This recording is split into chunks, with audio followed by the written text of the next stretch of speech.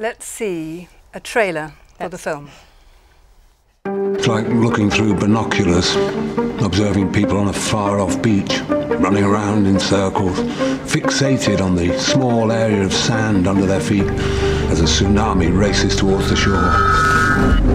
101 degrees Fahrenheit. It's the hottest day ever recorded. It is our fault. Of course, worried about global warming. Absolutely. Yeah, I mean. losing everything you have, it's so overwhelming, and the grief is just, it's profound. The question I've been asking is, why didn't we save ourselves when we had the chance? Evacuate! Evacuate! Evacuate! That's it. The airline business needs a face, a personality. You're suspended. You're suspended. Both of you come to my office right now. Police want our place to be like in America. you're living that kind of life. You just want to stay on earth forever.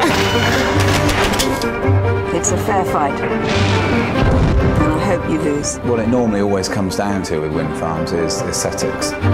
Hypnotic. Driving along and you tend to see the cells revolving and you're not concentrating on the driving. I feel really, really off with it.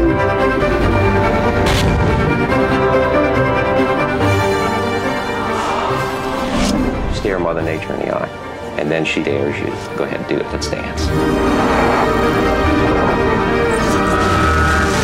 London is underwater again. Half past two degrees. Stop, runway climb. Suicide rates increasing. Come on, stupid computer. Well, Hugh, we can see it's a hard hitting film. What lessons do you think there are for the NHS and for health professionals in general? Well, there's an immediate message for everyone because for far too long, climate change has been a benign thing. It's been climate, it's been change, it's been warming. And if there's been a risk, it's been to polar bears and ice packs. And what this uh, film, for me, says for the first time publicly is that we as individuals are under threat. Not polar bears, just polar bears, but you and I and our children. It's us and it's us now, and it's not some ethereal time 500 years in the future. So, actually, the message is for every person on the planet, I think. This is an absolute catastrophe. It could wipe out our species this century, and that's not uh, polemic coming from fringe politics. This is mainstream scientific opinion now. We could be in the dying decades of our species, and that means us. So, the message I think to healthcare professionals is that there really is nothing more important in their lives now than fighting this fire. And we've got to drive this forwards.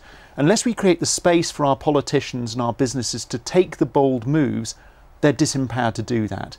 So I think we have a powerful voice in advocacy as much as we do in changing our lives as personal individuals and changing the way in which our employment acts as well, or our employers behave. Someone in the film mentions the fact that as a species we're not well adapted to a slow emergency. That this is the worst kind of emergency Absolutely. we could be facing because we're good at responding to immediate threat.